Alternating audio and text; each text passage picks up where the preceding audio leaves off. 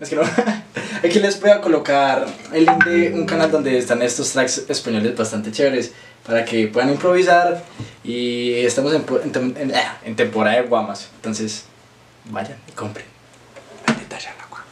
Bendita sea la guama. Y sobre todo, eh, les quería compartir algo mm, diferente. Bien.